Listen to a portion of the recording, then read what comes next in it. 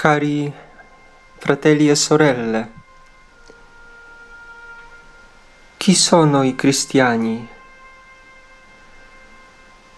È possibile chiudere in una frase, in una formula, l'essenza del nostro cammino, della nostra fede? Mi sembra che nel Vangelo di oggi ci sia una risposta a queste domande. Quando Gesù dice ai suoi discepoli, vi farò diventare pescatori di uomini. La frase con cui il, Signore chiama i suoi primi discepoli è anche una frase che definisce il ruolo di tutti i cristiani nel mondo e non solo il ruolo dei sacerdoti o dei religiosi, delle religiose, ma ogni discepolo di Gesù. Questo modo eh, di invocare, questo modo di, dell'incontro personale con Gesù è molto, è molto significativo e molto importante per tutti di noi cristiani. Carissimi, perché questo è importante? La maggior parte dell'umanità, soprattutto l'umanità di oggi, sono gli abitanti del fondo, diciamo di fondo di tutti i tipi, di fondo dei peccati, disgrazie, solitudine, dolore o disperazione, specialmente oggi durante la pandemia. È difficile per noi trovare la felicità, l'equilibrio e la gioia. La vita spesso assume queste forme terribili che vivono sul fondo di un lago di, o di un mare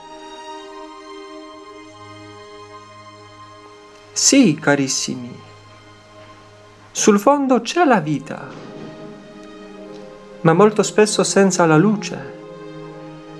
La vita che non è la vita stabile, è una vita deformata, triste, come se fosse il deserto.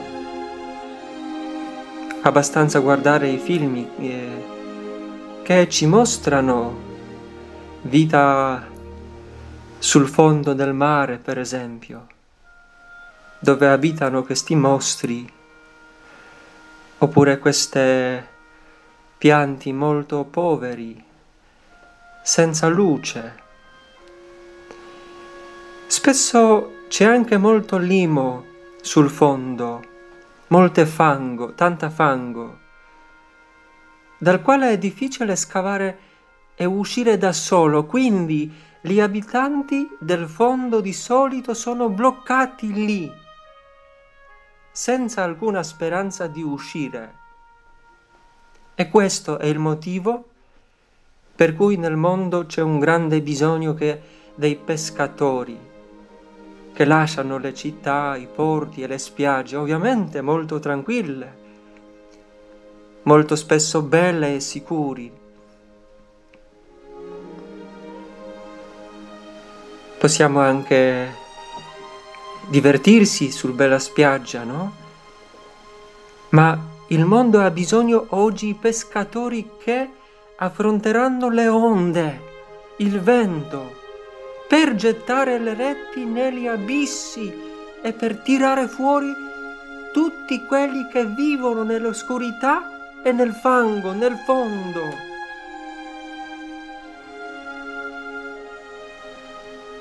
Seduto al sole sulla riva e dicendo che esiste buio senza la speranza, che esiste il fondo, che esiste il fango, che esiste il limo sul fondo, senza la speranza. E non si, che non si può vivere lì, niente aiuta carissimi. Dobbiamo uscire come gli apostoli con gioia nella speranza, seguendo Gesù, diventando discepolo di Gesù, avendo la relazione con il nostro Signore, guardando i suoi occhi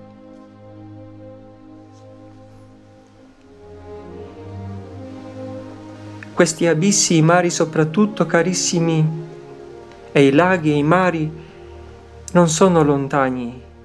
I paesi pagani o i gruppi di persone che, peccaminose che vivono lontano da Dio. Anche questi ovviamente devono, devono essere curati. C'è un grande bisogno di pescatori che partiranno per, per una pesca lontana, pericolosa, no? ma le attività di pescare di un pescatore più importante di solito è proprio accanto a noi, nelle nostre famiglie,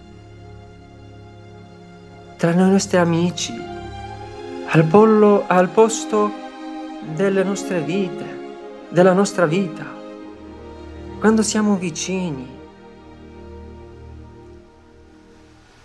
Carissimi, Esiste un pericolo perché quando siamo vicini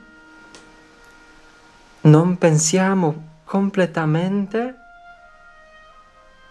a ciò che Gesù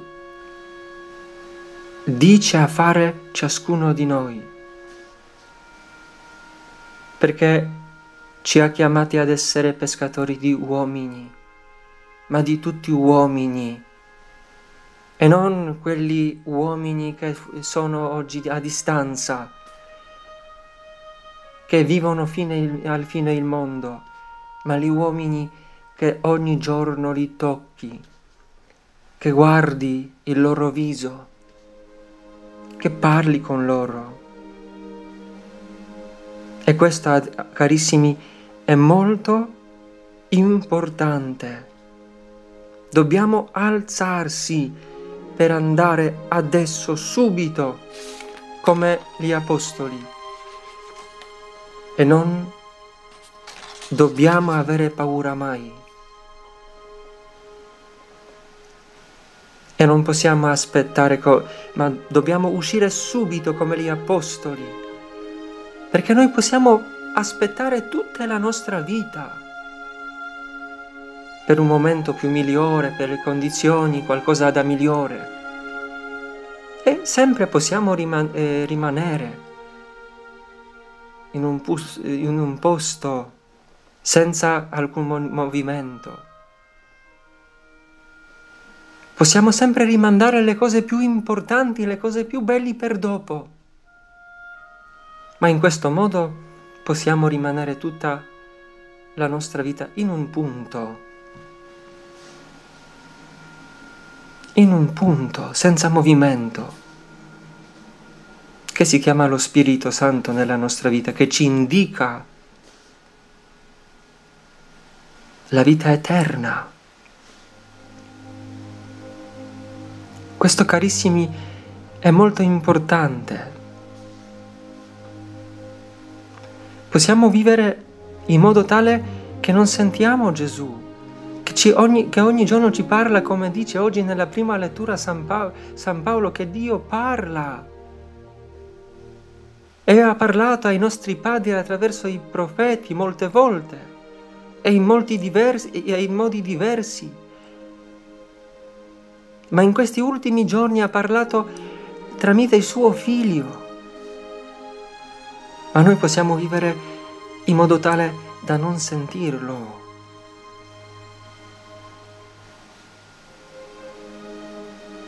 Gli apostoli li ascoltavano con attenzione. Erano sporchi di lavoro, stanchi. Non era il momento migliore per ascoltare la parola di Dio, ma Gesù ha detto una parola. Venite con me. È molto importante. E loro hanno preso decisione di andare. Carissimi, dobbiamo oggi prendere decisione di andare, di diventare i veri discepoli di Dio, cioè pescatori in questo mondo che ha bisogno dei nostri mani, che ha bisogno dei nostri occhi, che ha bisogno della nostra bocca per proclamare con nostra testimonianza di amore di Dio, ma soltanto possiamo testimoniarla essendo nel profonda relazione con il nostro Signore. E questo vi auguro con tutto il mio cuore. Amen.